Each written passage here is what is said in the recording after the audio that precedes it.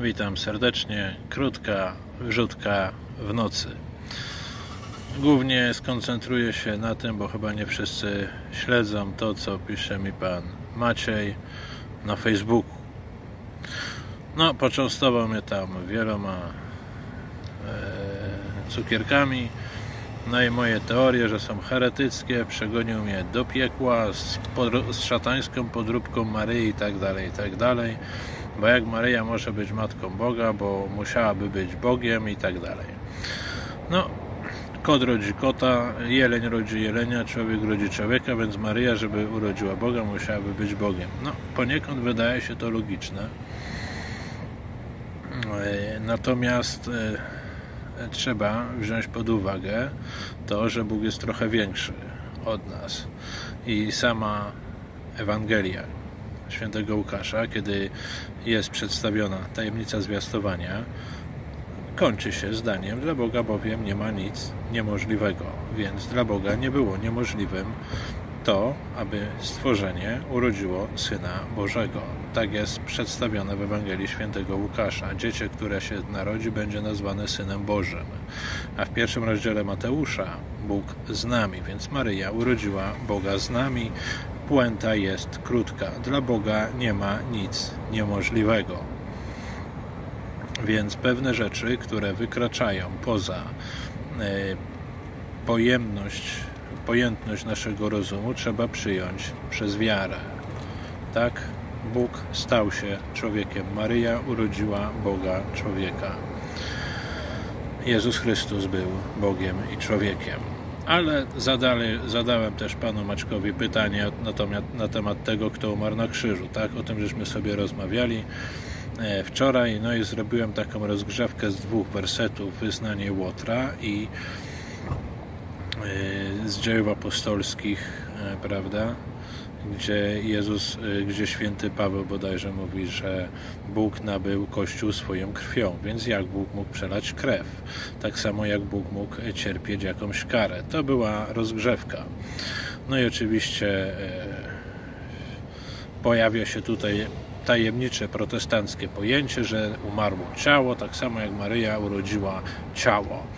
No, yy, chociażby te dwa fragmenty, które przytoczyliśmy sobie wczoraj z Ewangelii Świętego Łukasza i z dzieł apostolskich temu przeczą, jednak to była taka rozgrzewka. Teraz podgrzejemy trochę temperaturę i przybijemy ostatecznego gwoździa w brednie yy, protestantyzmu. Pierwsze, podgrzejemy temperaturkę, Ewangelia Świętego Jana. Sam Jezus Chrystus, którego no, wy uważacie za Boga, powiedział w dziesiątym rozdziale, o ile dobrze pamiętam, Ewangelii Świętego Jana, że dobry pasterz oddaje życie swoje za owce. I teraz uwaga, mam moc je oddać i mam moc też je odzyskać. Więc co to znaczy? Że Chrystus ma moc oddać życie i ma też ją moc odzyskać. Rozumiecie to, drodzy protestanci? Panie Macieju, rozumie Pan te słowa?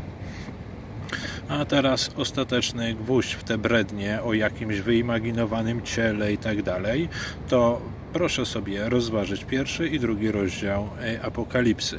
W pierwszym rozdziale Alfa i Omega, Bóg Wszechmogący, ten mówi, jest opisany jako przychodzący, ten, którego przebili. Kogo przebili, panie Macieju? Jakieś ciało? Ciało będzie przychodzić? Ciało jest alfą i omegą, czy Bóg? No.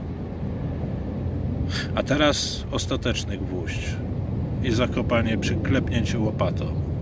Gdzie sam Bóg mówi, że umarł? No. Zastanówcie się trochę. Bóg mówi, że umarł.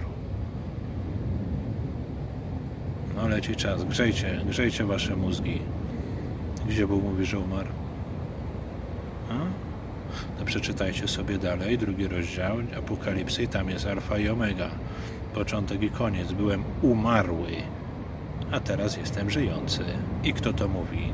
Panie Maćku i drodzy protestanci, jakieś ciało to mówi? Czy Bóg, że był umarły, a teraz jest żyjący? Więc kto umarł na krzyżu? Jakieś ciało? Czy Bóg? Kogo przebili na krzyżu? Ciało czy Boga?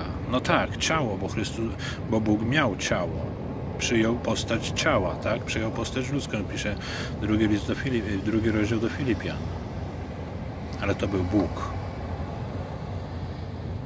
który w Apokalipsie, jak się objawiał świętemu Janowi, mówi: Byłem umarły, a teraz jestem żyjący. Alfa i omega, początek i koniec. Więc, panie Maćku, proszę mi teraz elegancko udowodnić, skoro dalej będzie pan brnął w swoich fanaberiach i diabelskich wypocinach, że na krzyżu umarło ciało, a nie Bóg, to proszę mi teraz elegancko powie, wykazać biblijnie, że ową alfą i omegą, początkiem i końcem, które było martwe, a teraz jest żywe, to nie jest Bóg, tylko jakieś ciało. Proszę mi to wykazać, tak samo jak proszę mi wykazać z pierwszego rozdziału Apokalipsy, że przychodzący Alfa i Omega, Bóg Wszechmogący, ten, którego przybili, to też nie jest Bóg, tylko jakieś ciało. I pisze Pan, zadaje Pan jakieś kosmiczne e, pytanie.